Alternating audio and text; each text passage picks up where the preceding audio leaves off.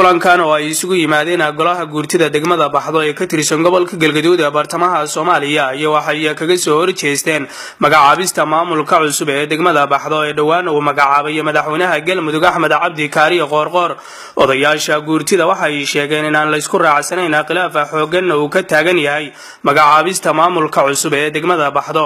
Madaxweynaha galmudug oo dhowaan booqasho ku tegay magaalada baxdo ayay sheegeen odayaasha dhaqanka magaaladu inuu yimid magaalada oo dadkeeda ay yihiin kuwa midaysan haddana uu u kala qaybiyey dhowr qaybood. Waxaana ay sheegeen in madaxweynuhu qaadanayo wixii ka yimaada degmadaasi sida ay hadalka u dhigeen. Meeshaa waxay ahayd meel nabada meel maamul leh meel kala dambayn leh meel aan dhib ka taagnayn.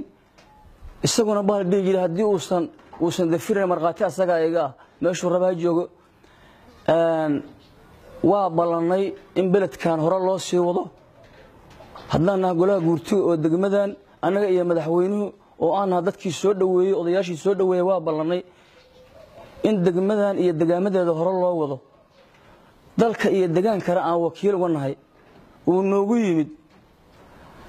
Intaas iyadoo joogta waxaa noogu xigtay wuxuu soo magacaabay madaxweynuhu maamul waxa weeye bahalka laahda dheelmada oo lagu sido boorso oo aan loo dhammayn jaalle madaxweyne waxaan gaarkuugu sheegaynaa maalintii aad timid baxdo saddex qof kaliya ayaa ka hadashay.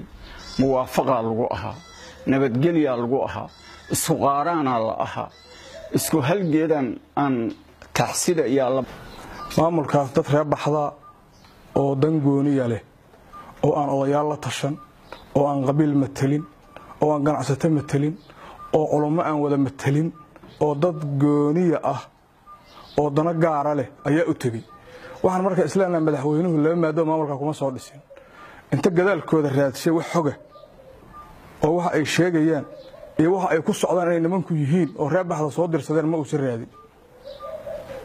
Golihii iyo maamulkii iyo dadkii xogaalka ahay oo deegaanku uu wakiishana ma uusan warsan.